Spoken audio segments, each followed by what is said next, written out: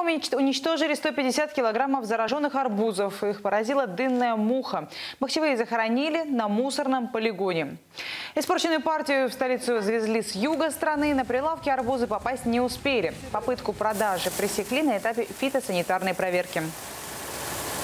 пораженная часть э, загнивает и становится непригодным для употребления. Э, Кроме того, данные вредители, когда э, попадают на арбузы, можно увидеть невыраженным глазом, то есть появляется в корках арбузов или дыни, появляется красно-коричневые выделения. Дынная муха не опасна для человека, но наносит большой вред сельскому хозяйству. По решению суда собственник испорченной продукции выплатит штраф.